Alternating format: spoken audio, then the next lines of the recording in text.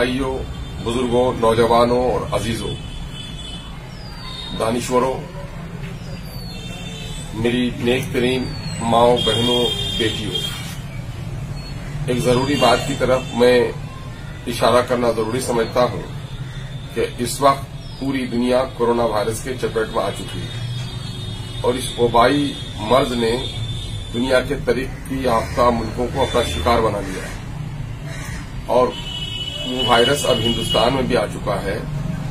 چند سو لوگ متاثر بھی ہو گئے ہیں۔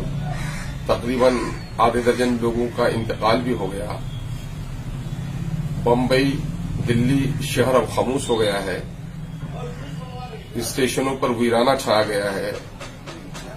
بین الاقوامی جو ہوائی جہاز کی آمد رفت تھی، اس میں بہت حد تک روک لگا دی گئی ہے۔ ڈومیسٹک پروازیں بھی اب روک لگائی جا رہی ہیں۔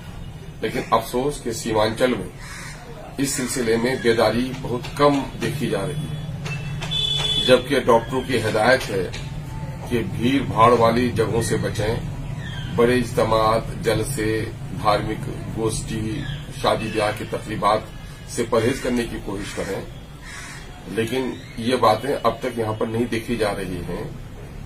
ہم آپ سے گزارش کرنا چاہتے ہیں کہ وبائی امراض سے پرہیز کرنا یہ اصولی بات ہے میڈیکل سائنس کی طرف سے بھی اور تمام تر دھرم کے اخلاقیات میں یہ بات شامل رہی ہے۔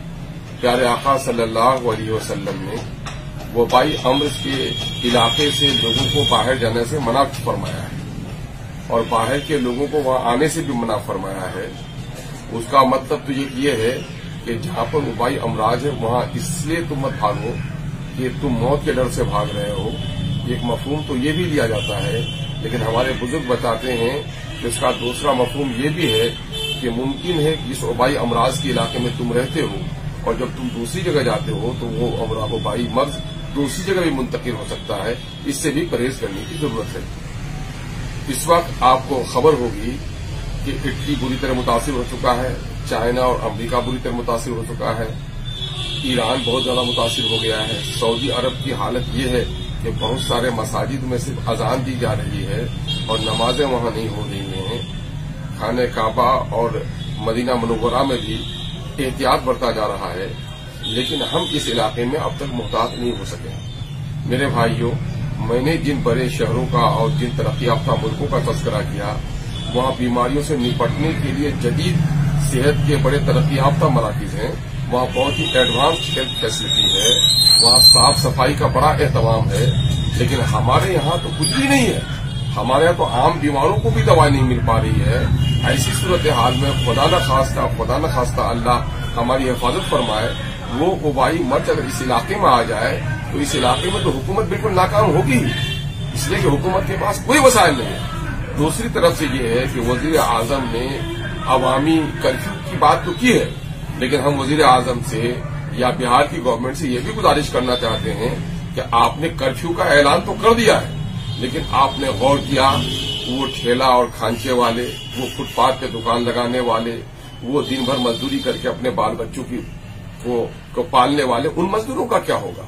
آپ کو اعلان کرنا چاہیے کہ ایسے تمام تر لوگوں کو جب تک اس وبائی امرض کا خطرہ لاحق ہے اپنے کام کاج فیکٹریاں چونکہ بند ہو گئی ہیں، کاروبار حیات بند ہو گیا ہے مالز بند ہو گئے ہیں بڑے بڑے شہروں میں، تو لاکھوں کروڑوں لوگ جو بے روزگار ہو گئے ہیں، ان کے گھر کا چولہا کیسے جلے گا؟ تو یہ بھوکا آدمی اگر اس کی بھوک کو مٹایا نہ جائے، تو وہ حفظان صحت کے اصولوں پر پابندی بھی نہیں رہ سکتا ہے۔ پھر وہ یہاں وہاں اپنے پیٹ کی بھوک کو بجھانے کے لیے دوڑے گا۔ تو ظاہر ہے کہ اس بیماری سے وہ احتیاط نہیں برت پائے گا۔ اس لیے حکومت کی یہ بھی ذمہ داری بنتی ہے کہ جس سے دو دوسرے ممالک میں بینکوں کے انٹرسٹ روک دیے گئے ہیں، قرض کی ادائیگی پر پابندی لگا دی گئی ہے۔ دکانوں میں غلے کے اجناس کو سستے قیمت پر بولنے کی، بیچنے کی ہدایت دی دی گئی ہے۔ سستے ہوٹل کا انتظام کیا گیا ہے۔ بہار میں بھی نتیش کمار جی کو چاہیے، ہمارے وزیر اعلی محترم کو، کہ وہ بھی اعلان کریں کہ اس بیماری سے جہاں احتیاط ضروری ہے، وہیں بے روزگاروں کے لیے ان کے روزگار فراہم کرنا یعنی ان کو بھتا دینے کا کوئی انتظام کیا جائے۔ فٹ پاتھ پہ جو لوگ دکان لگاتے ہیں، جن کا روزگار بند ہو گیا ہے ان کو کچھ نہ کچھ ان کے گھروں میں اناج ڈیلی پہنچانے کا انتظام کیا جائے۔ بینک سے قرض لے کر جو لوگ کاروبار کر رہے ہیں، ان کا کاروبار رک گیا ہے۔ تو بینکوں پر اس مدت تک کے لیے اس کی سود کی رقم اور اس کی وصولی پر پابندی لگایا جائے تاکہ منصفانہ حکومت کی تصویر سامنے میں آئے۔ صرف یہ خوف دلا دینا لوگوں کو اور باقی حکومت ہاتھ پر ہاتھ دھرے بیٹھے رہے۔ بیس لاکھ کی آبادی والا یہ شہر ہے، آج بھی ہم نے اخبار میں پڑھا ہے۔ کہ یہاں پر جو کوارنٹائن کے لیے جگہ بنائی گئی ہے آئسولیشن کے لیے، وہ بیس پچیس لوگوں سے زیادہ نہیں ہے۔ یعنی ایک لاکھ میں ایک آدمی کی گنجائش اب تک نکلی ہے، تو باقی لوگوں کا کیا ہوگا؟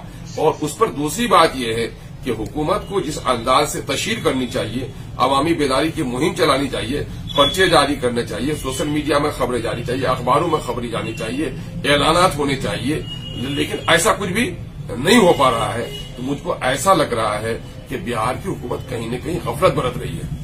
اور بالخصوص ہم جو سیمانچل کی اس پٹی میں بسنے والے لوگ ہیں، ہمارے ہاں خطرات کا اندیشہ اس لیے بھی ہے کہ ہمارے ہاں بیشتر مزدور باہر رہتے ہیں اور وہ لوٹ کے گھر کو آئے ہیں۔ نہ جانے ان کی کیسی صورتحال رہی ہے۔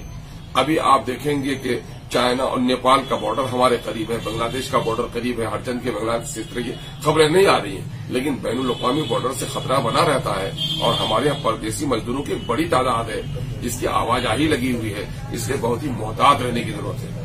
ہم عام لوگوں سے، سماج سیوی لوگوں سے، سماجی سروکار کے تعلق رکھنے والوں سے، خاص کر کے آئین میں مساجد، علماء حضرات جو ہمارے دوسرے دھرم گرو ہیں، تمام تر لوگوں سے اپیل کرتے ہیں کہ اپنے اپنے مذہبی اصول کی بنیاد پر ایسے، ایسی نازک ترین صورتحال میں جو ہماری اخلاقیات کی تعلیم ہے وبائی امراض کے تعلق سے، اس کے سلسلے میں ممبر و محراب سے باتیں کہی جائیں، یہ باتیں مندروں میں اور چبوتروں میں یہ باتیں لوگوں سنائی جائیں۔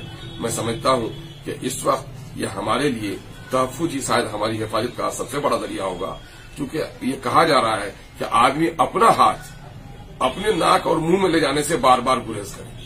چھینک آنے والوں سے دوری کریں۔ ڈسٹینس بنائیں۔ لیکن ہمارے ہاں عام میل جول میں اب تک کوئی کمی نہیں آئی ہے۔ تو لگتا ہے کہ ہمارے لوگوں نے اس کو ابھی بہت ہی ذمہ داری کے ساتھ اور بہت ہی سنجیدگی کے ساتھ اب تک نوٹس نہیں لیا ہے کہ یہ وبائی مرض کتنا خطرناک ہے اور ہم کتنے خطرے میں ہیں۔ ہم چاہتے ہیں کہ اس سلسلے میں غور و فکر کر کے اپنے اپنے دائرے کار میں لوگ کام کا